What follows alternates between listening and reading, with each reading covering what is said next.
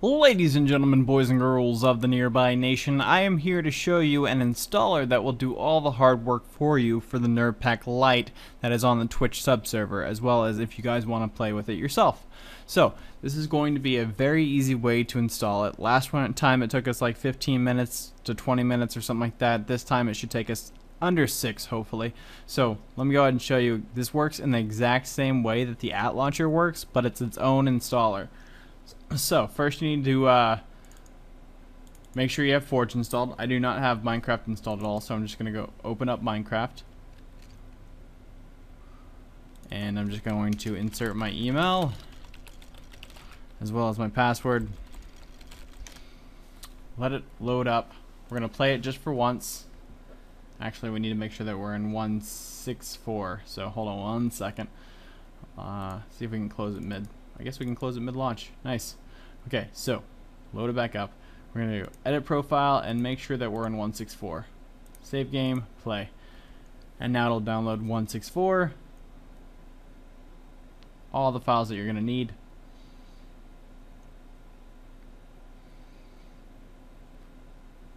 There we go. I was like, why is, I guess 172 is still up. Alright, so we got 164 now. What we need to do is we need to get Minecraft Forge, which there will be a link in the description on where to download this. And you will need nerbpack.exe. This is the program that I made in C Sharp last night. So, first of all, Minecraft Forge, you want to install the client, make sure it's on .minecraft, and click OK. Oh, I'm sorry, we need the 164 version of Minecraft Forge. Let me go to my downloads real quick. Again, I will have a download to this I'll just click it. Alright, so here's the 164. We're going to go ahead and click OK. Again, you're going to need 164 for the 164 version. And make sure you're on 164 version, because as you've seen right there, if you were on 172, it wouldn't let me do this.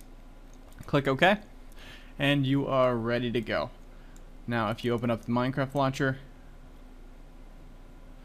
and go to Edit Profile, you will see that it is set up for Nearby Gamer and it's set for release.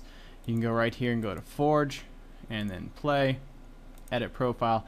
As you can see it's set up for Forge and it's set up for the Forge release. Now the game directory we want to set backslash nerb server capital N capital S save profile and then we just want to exit out of Minecraft. Now you want to hit nerb pack and just run this. It's going to open up a command prompt and it says please make sure that this program is in your c.users.username appdata So first thing you want to do is open up your Minecraft, throw that in your .minecraft because what's going to do is it's going to download the files and stuff that you need for the nerb server right here. So click this again and then hit enter for start. So what's going to do is it's going to download all the mods that you're going to need. When it gets to AdFly mods, you'll see that we'll, we'll have to do the same thing that you do at the AtLauncher as well as for MediaFire ads or MediaFire mods. But you can see it created a NERB server, configs, and a mods folder. It will download all the mods that you can download directly. And then it will pause here in a second after it downloads all that and says the next downloads are through your default web browser. So it's making sure that you have it set to a default web browser. It's going to put all of your stuff that you download from the default web browser into your users slash username slash downloads. So for me, it was users slash nearby gamer slash downloads. That's where all of my files are going to be downloading to. Make sure that your files are downloading to that from your web browser, which is, if you have Google Chrome, that's like the default way it downloads. But if you change it in any way, any form, this will not work. So, you can see right here in the configs, go ahead and click extract here. That's all you need to do right there in the configs, and that's it. Alright, press enter. As you can see, it's going to open up every single browser that we're going to need. So we'll just click download, keep, and then as soon as it's done downloading, make sure it is done downloading. This is doesn't have any error checking, so if you have it partially downloaded, it's going to have problems. So make sure this is completely downloaded. Click enter. Chat bubbles. We're going to click that. We're going to get ads, of course, because it's MediaFire. Again, click that. Ads, of course, MediaFire. And we have ads with music now. Awesome. Okay. no fog, click that. Download again. Make sure that it is completely downloaded down here. Now, Mediafire, the way it works is if it's a zip file, it'll go ahead and download it without asking you. However, if it's something like a jar, it's going to ask you, hey, this can harm your computer. You sure you want to keep it? Go ahead and click keep. And then enter again. Every time you enter, it's going to take you to the next mod that you have to download. Now, it gets down to the next downloads are AdFly supported. Please watch the ads to support the developers. So, all the next mods that you will see are AdFlies. So, we'll go ahead and exit out of all that stuff.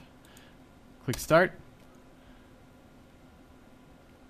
Make sure you're at least setting on the AdFly page. And then just click uh, Skip Ad. Let it download down here. Once it's finished, enter so this is the exact same way that you would be doing it through the ATLauncher, except for this is my own installation of whatever mods that I want. Click enter. If this uh, video gets 300 likes, we will have a NerbPack that has all the uh, Sim-U-Kraft and stuff in it for you guys. Make sure on this one, I even put it specifically, Carpenter's Blocks 1.9.3 for MC 1.6. So not 1516. So click that one, click download, and then click enter. I know this is exactly the same way we were doing it before, but it's a little bit user friendly because half the mods download for you for themselves because they're downloading from the original place that you can download them from. We'll go ahead and start getting rid of some of these other old ones.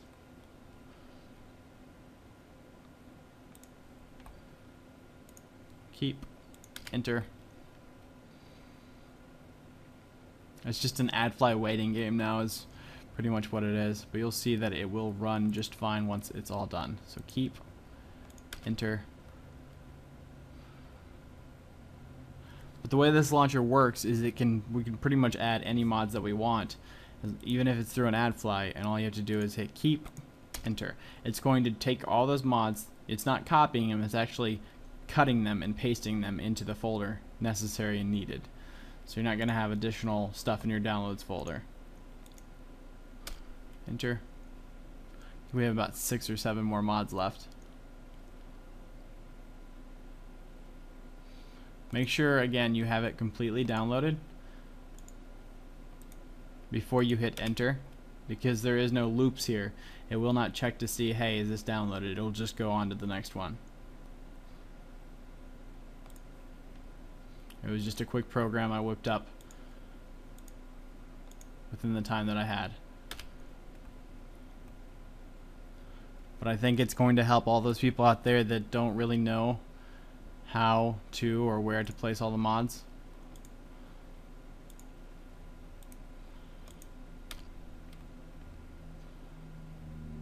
It basically does it all for you.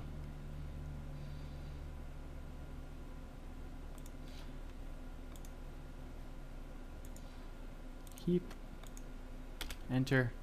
there's like three mods after this. But you're also supporting all of the developers that want support. I opted of uh, AdFly for every single mod that I downloaded that had it. You might get this. This is just saying, hey, I'm not a bot. I'm a I'm a real person. I'm a real boy.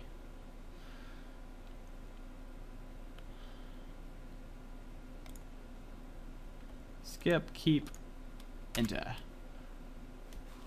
three more. Now, if I end up getting permissions for any of these mods, then we can go ahead and make them direct downloads.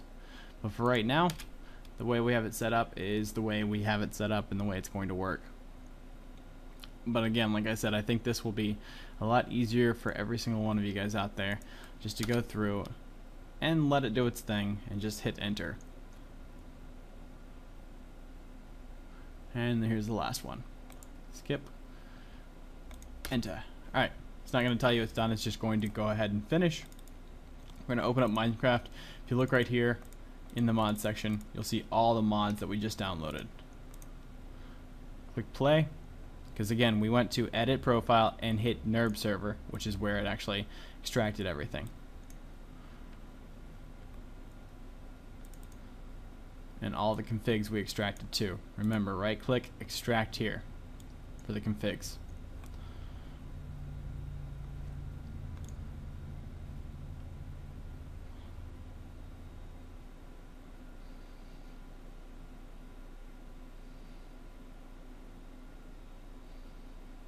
Okay, so we're a little over six minutes, but that's about the ads.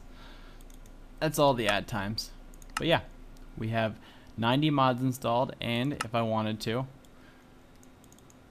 I don't know if I have the uh, actual IP on me right now. I don't.